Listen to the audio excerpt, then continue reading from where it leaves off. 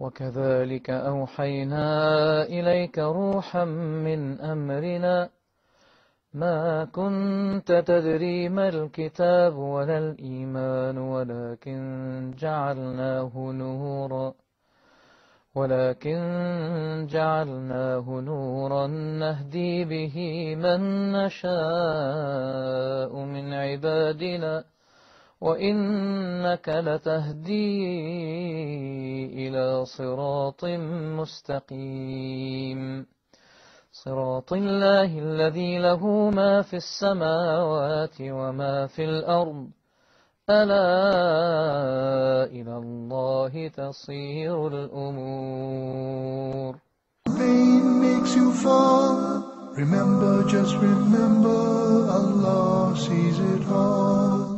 الحمد لله رب العالمين والصلاة والسلام على رسول الكريم وعلى آله وأصحابه ومن استنى بسنته إلى يوم الدين All praise is due to Allah and may Allah's peace and blessings be on the last Prophet Muhammad sallallahu alayhi wasallam and on all those who follow the path of righteousness until the last day.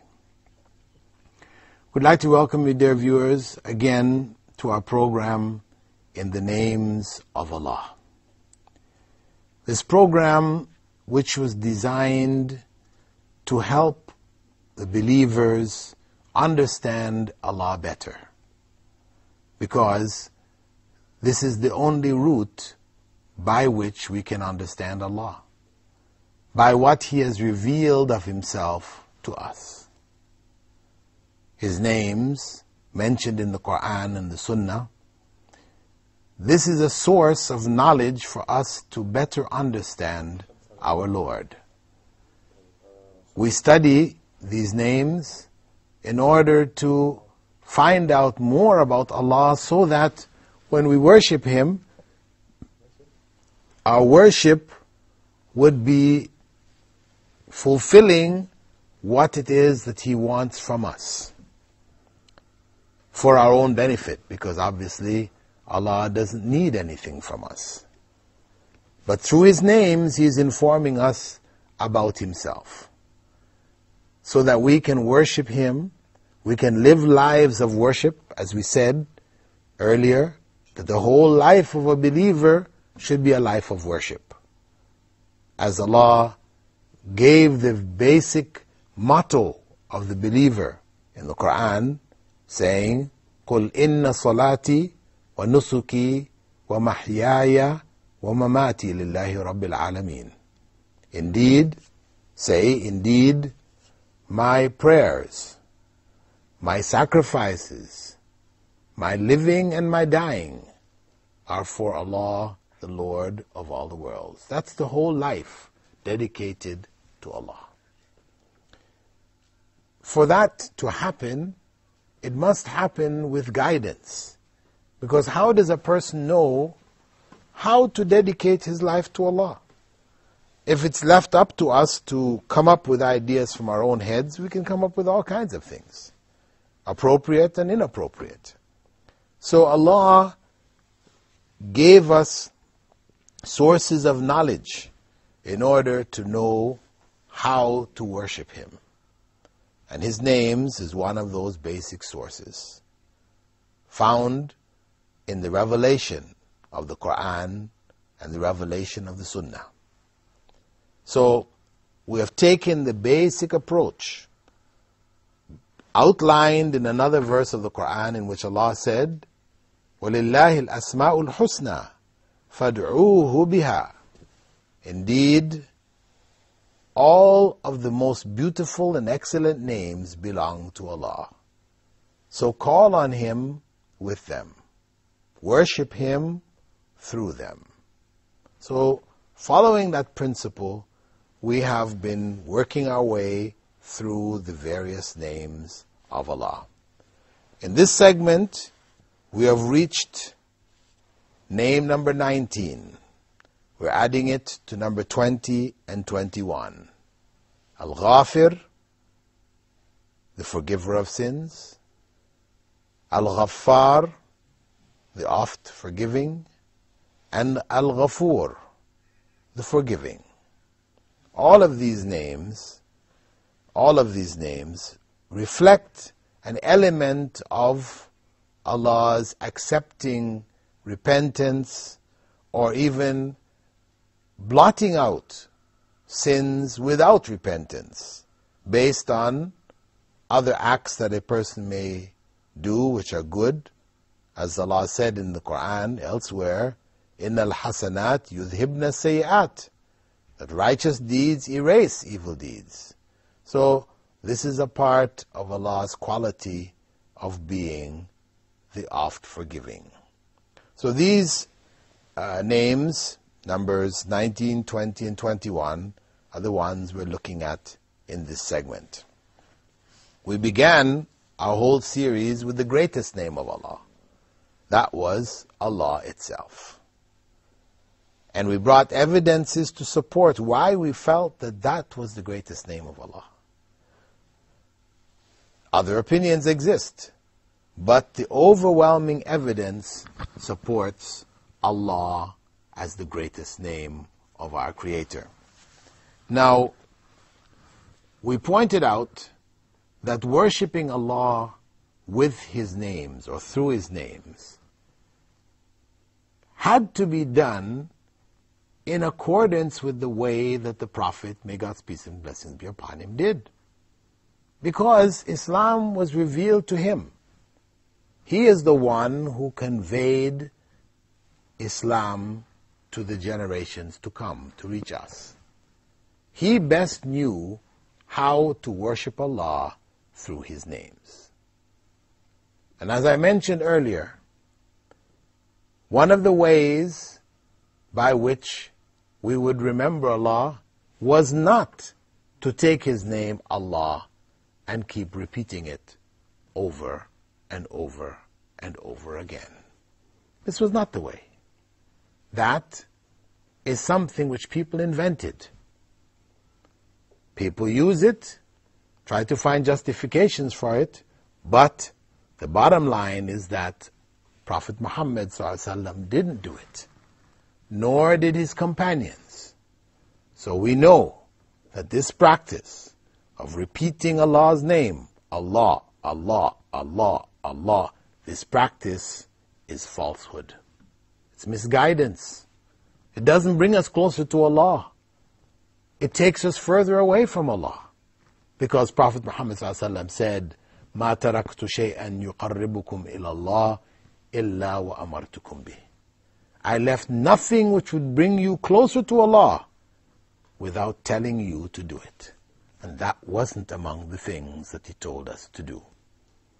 So, dear brother and sister, brothers and sisters, watching this program, I hope that this point is clear.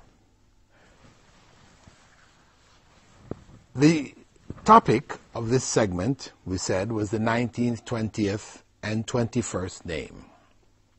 Al-Ghafir, mentioned only one time in the Quran. And that is in Surah Ghafir, by the same name.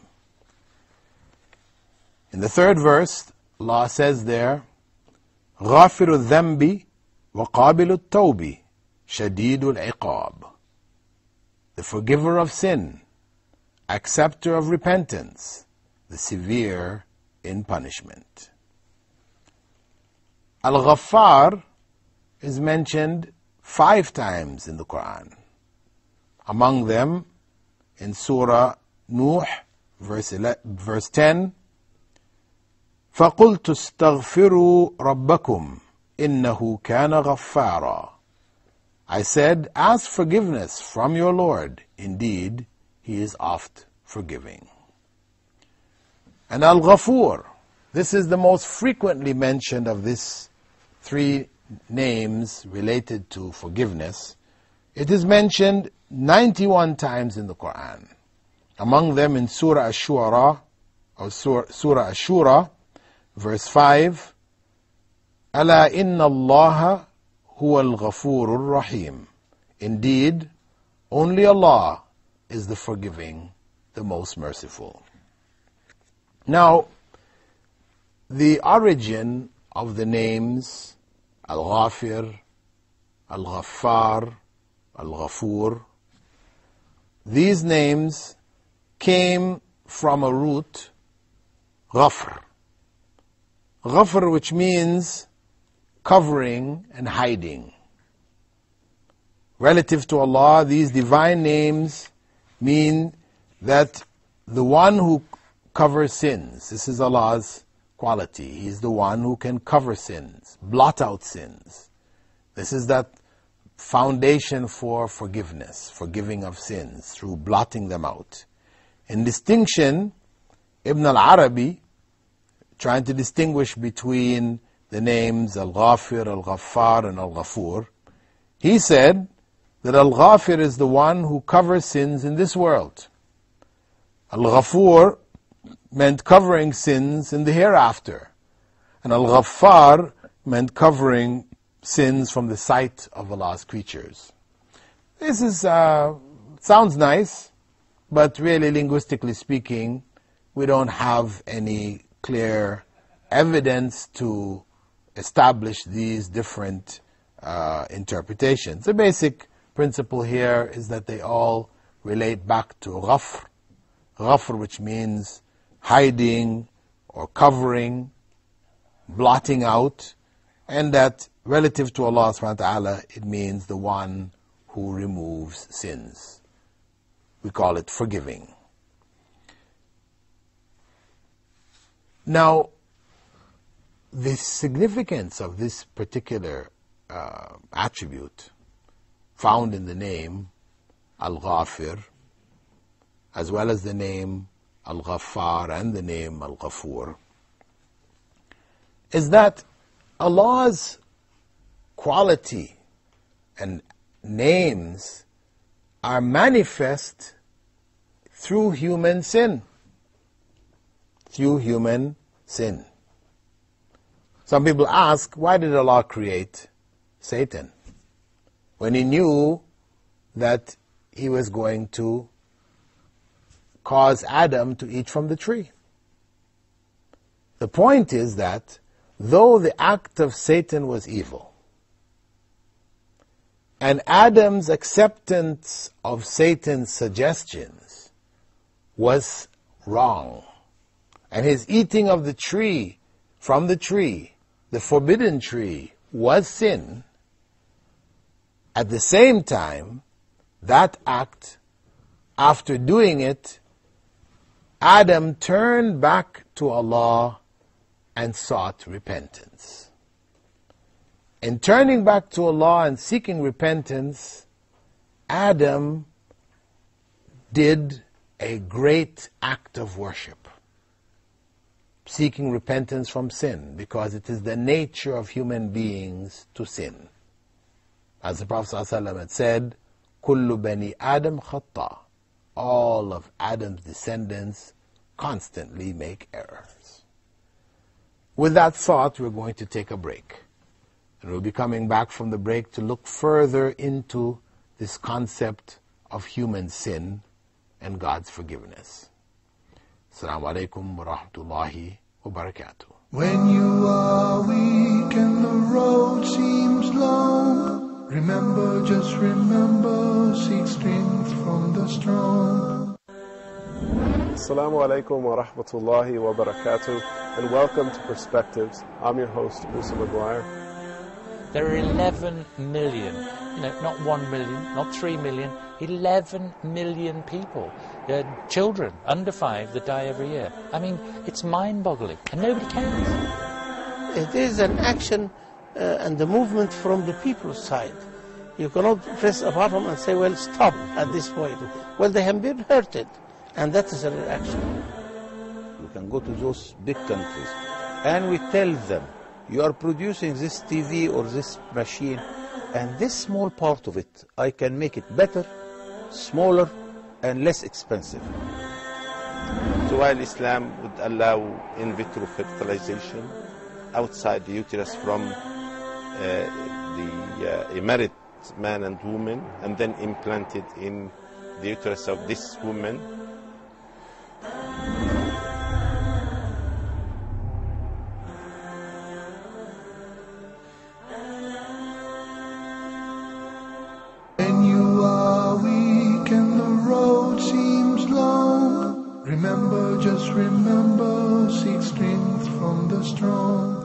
Alhamdulillah, wassalatu wassalam ala Rasulillah.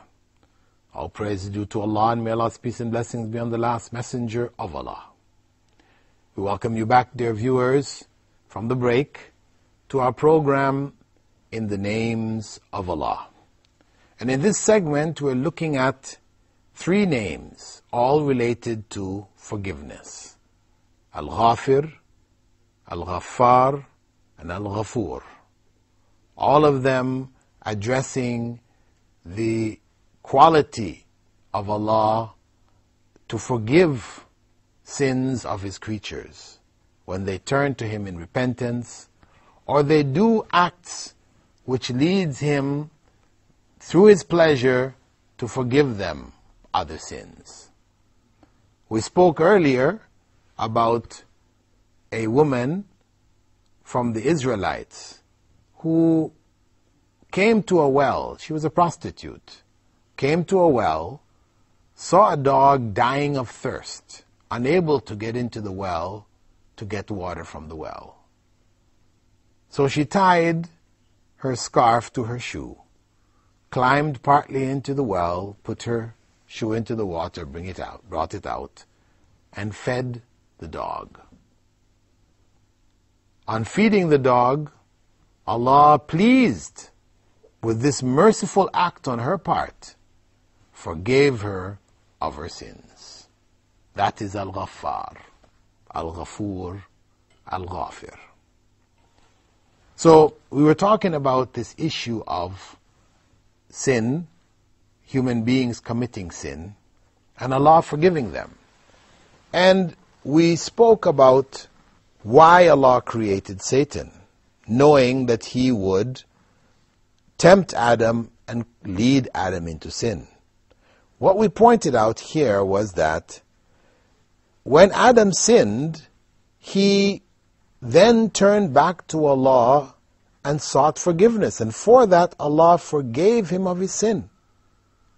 As the Prophet ﷺ said, التائب من الذنب كمن لا ذنب له one who repents from sin is like one without sin. So this act of repentance is a major act of worship. And this was the good, the great good, that would come out of Satan's act of tempting Adam.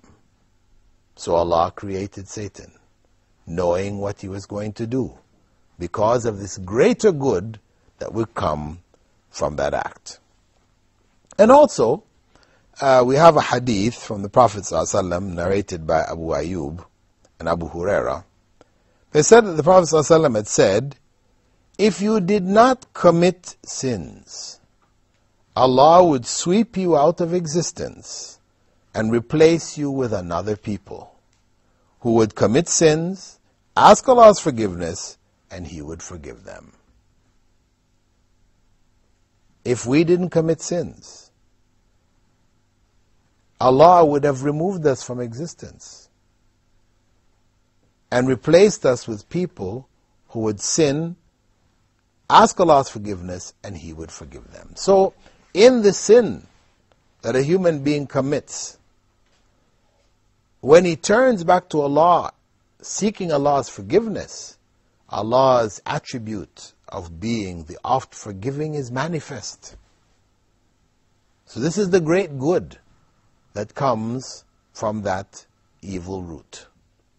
And this is why Allah created us, human beings, knowing full well that we would disobey Allah, that we would commit sins. In another narration from Anas ibn Malik, he related that the Prophet ﷺ had said, Allah is more delighted with the repentance of His servant than one who suddenly finds his camel laden with supplies after losing it in a barren land. As a person would be so much in joy and happiness after losing their camel at the point of death, dying of starvation, and all of a sudden the camel reappears. How happy we would be. Prophet ﷺ said, Allah is more happy with the servant who turns to Him in repentance. So, this is the great value of repentance with regards to Allah subhanahu wa ta'ala. At the same time, when we look at the impact of these names, Al Ghaffar, Al Ghafur, Al Ghafir, Allah the oft forgiving, it should keep hope alive in the heart of the believer. Keep hope alive that he or she would be forgiven of their sins. Because Allah is the oft forgiving. So, the believer doesn't fall into a state of uh, distress and give up hope and fall into more sin as a result of having lost all hope. This names, these names, reminds the believer when he worships Allah, reflects on them, reminds the believer that Allah will forgive. However, there are conditions. Some people take this understanding of Allah, Allah's name, Al Ghafur, they've taken it and have gone to extremes. So when they commit sins and they're advised, brother, sister, this is not good, it's haram, don't do it. They say, Allah Ghafur Rahim. That becomes the answer. Allah is all forgiving and He's merciful. But the bottom line is that His mercy and His forgivingness, is it something arbitrary? You don't have to do anything. All you have to do is believe that He is forgiving and merciful and you're forgiven? That doesn't make sense. That's illogical. That's foolish. No. There has to be effort on the part of Allah's servant for him to deserve and to receive by the grace of Allah Allah's forgiveness. So let us not fool ourselves into thinking that without any effort on our part we will receive Allah's forgiveness. No. Forgiveness has conditions. There are clear conditions which were set by the Prophet ﷺ set by Allah subhanahu wa ta'ala in the Quran, they're there. There are conditions. The first of the conditions is one which the Prophet ﷺ said in a hadith which was narrated by Ibn Ma'qil. He quoted the Prophet ﷺ as saying, الندم توبة الندم tawbatun. Remorse is repentance. In that statement, the Prophet ﷺ laid the foundation for true repentance. Remorse, feeling bad about what one has done. That is a condition for one's repentance to be accepted by Allah subhanahu wa ta'ala. If one commits a sin, and still enjoys the memory of that sin. They don't feel bad in any way within themselves about the sin. They just know it's a sin. People tell them it's a sin. They know they shouldn't do it because maybe they studied it or their parents told them or society tells them it's not good. But in their hearts, they love it. And they turn to Allah and say, Astaghfirullah. Forgive me, O Allah. Will Allah forgive them? Because this primary condition, which Allah made equivalent to repentance, is missing. Remorse. It's like when Prophet ﷺ said, Al Hajju Arafah. Hajj is Arafah. Well, it doesn't actually mean Hajj is Arafah. It means that Without Arafah, there is no Hajj. If you miss Arafah, there is no Hajj. If you miss Mina, before Arafah, your Hajj is still there. There are things that you can miss from Hajj and Hajj is still there. But if you miss Arafah, no Hajj because Arafah is the essence of Hajj. The plain of Arafah, everything is moving towards that point where we stand and spend half the day in worship of Allah, in prayer, in the plain of Arafah. So, in the same way as Hajj is invalid if Arafah is missing, similarly, Tawbah is invalid if Nadam is missing. And Nadama, remorse, sadness, feeling bad about what one has done, if that is missing, then there is no repentance. It's only a ritual we're going through, words we are mouthing, but it has no impact. And as such, Allah will not forgive us. So, as I said, Alhamdulillah, knowledge of the names shows us, reminds us of this great forgiving quality of Allah subhanahu wa ta'ala. And it should keep hope alive in the heart of the believer.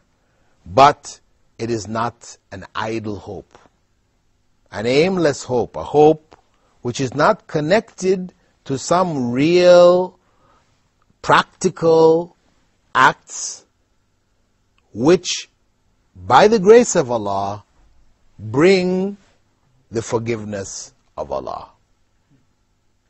It becomes deserved by Allah's grace. Without that, then repentance is a meaningless ritual. That, with that point, uh, dear viewers, we're going we're coming to an end of the program.